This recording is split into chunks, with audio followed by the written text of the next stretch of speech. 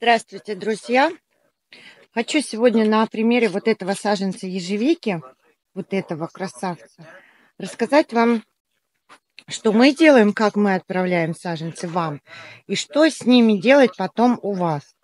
То есть вот это вот, естественно, мы не отправляем, оно вам не нужно, мы удаляем, убираем, идет хороший чистый саженец.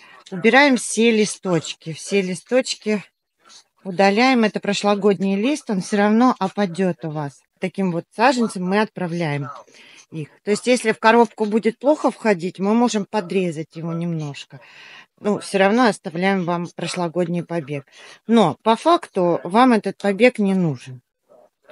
Пришел саженец, вы посадили, и побег лучше срезать, чтобы вот эта вот его корневая, которая здесь есть, чтобы она хорошо, быстренько, благополучно нарастала и врастала в грунт. Корневая хорошая, прекрасная. Ей надо, ее надо освободить от всего лишнего.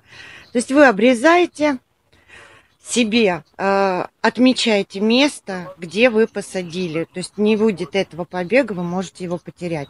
Там пойдет побег замещения. Его можно спокойно сполоть, на него можно спокойно наступить, чтобы потом не было горя, как говорится, потому что может больше побегов не выйти. Отмечайте это место.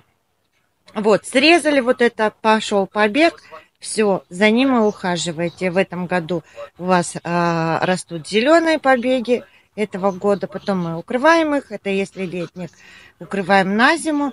И уже в следующем году вот это вот укрытое поднимаем на шпалеру. И на этих побегах имеем э, урожай.